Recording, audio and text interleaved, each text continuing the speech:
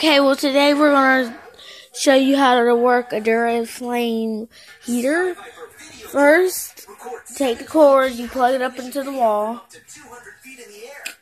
Then you then you open up this handle right here. And then you see this is power button that's on.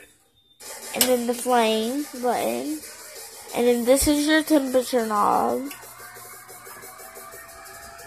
This one is your how like it is your I hate to see a guy get down like